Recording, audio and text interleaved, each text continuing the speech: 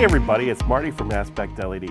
Today we're going to talk about the features, options, and compatible products with our L-Series dotless linear dynamic variable color tuning strip lights. This strip is one of my favorites actually. It is the perfect solution for those situations where you don't want to see individual diodes and you want to be able to adjust the color temperature and it is adjustable from a range of 3000 to 6000 K. It is available in both non-waterproof and a water-resistant version. The non-waterproof version has an adhesive tape backing. It is great for installations in a dry environment, such as in bookshelf lighting. The water-resistant version also has an adhesive tape backing for mounting.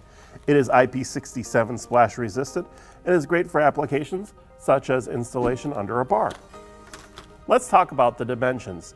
The non-waterproof version of this strip is half of an inch wide and the water resistant version is 9 16 wide. The cut length is 1.63 inches.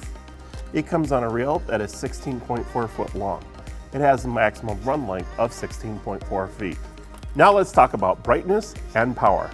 These strips are really bright. They are rated at 548 lumens per foot. These require 24 volt DC direct current power.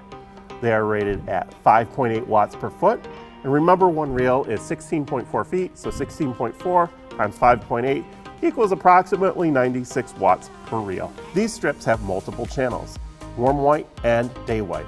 They need to have a non-dimmable power supply and a controller. Aspect LED multi-zone receiver and color tuning remote are great option for controlling these. The lead labeled 24V needs to be connected to the V positive terminal on the receiver. The lead labeled W, which stands for warm, needs to be connected to channel 1 or the warm white terminal. The lead labeled C, for cool white, needs to be connected to channel 2 or cool white. The temperature can be adjusted simply by putting your finger on the color wheel here. DMX controls can also be used. For more helpful information on these, please check out the links in the description. L-Series does not require a diffusing lens to hide the individual diodes, but aluminum channel can still be used for this. It is compatible with our narrow and wide recessed channel, our flexible channel, our recessed in floor and recessed in wall channel, as well as our 45 degree and our pennant channel. Links are in the description below. Thank you for learning all about our L-Series color tunable strip lights. For more helpful videos, please light up that subscribe button